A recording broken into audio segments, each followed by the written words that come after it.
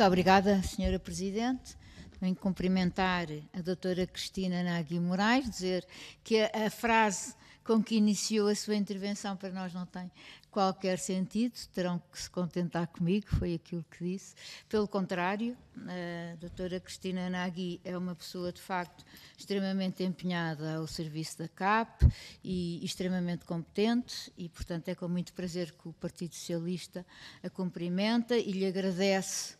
uh, o seu contributo, de facto, muito criterioso relativamente a esta proposta uh, do Governo sobre a legislação laboral.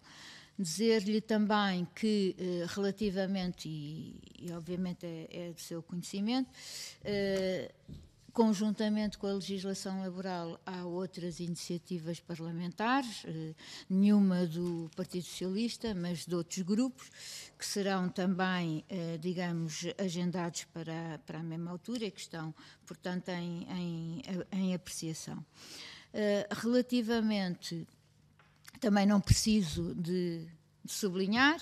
Uh, embora nunca percamos essa oportunidade, em termos do Partido Socialista, de lhe dizer aquilo que já conhece há muitos anos, que é do empenhamento do Partido Socialista, evidentemente, na concertação social como um instrumento de desenvolvimento do país e daí uh, estarmos sempre disponíveis uh, para promover naquilo que, é, que, são agora as nossas competências em termos da Assembleia da República, uh, digamos, os acordos que uh, são uh, firmados na, em concertação social e também, muitas vezes, já o temos dito aqui, que nos parece que infelizmente nem sempre a concertação social é devidamente aproveitada em, todas, em toda a sua dimensão e que se por acaso o fosse, muitas vezes, possivelmente, os eh, resultados seriam ainda mais positivos. Relativamente às questões em apreço, nós, como é evidente, estamos numa fase eh, não, não diríamos preliminar, uma vez que eh,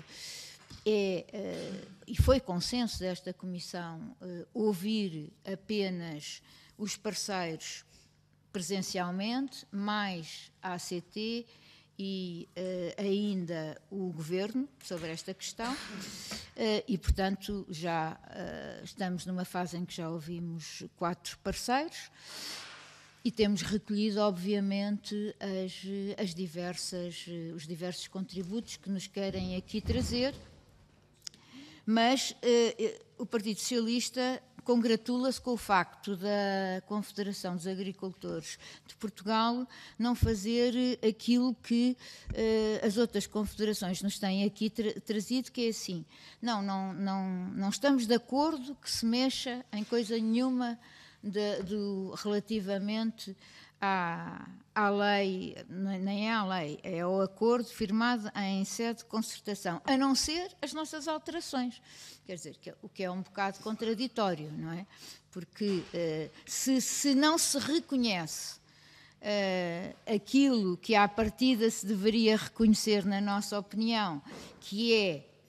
uma coisa é um acordo firmado em concertação social, outra coisa são as competências da Assembleia da República, mas se, se reconhece as competências da Assembleia da República para alterar uh, aquilo que as confederações patronais entendem que deve ser alterado, então, obviamente, não pode ser uh, só para um lado e, portanto, nós registramos muito positivamente que essa não tenha sido a posição da CAP, que se limitou, obviamente, a trazer-nos aqui alguns contributos relativamente àquilo que entendo que são. Uh,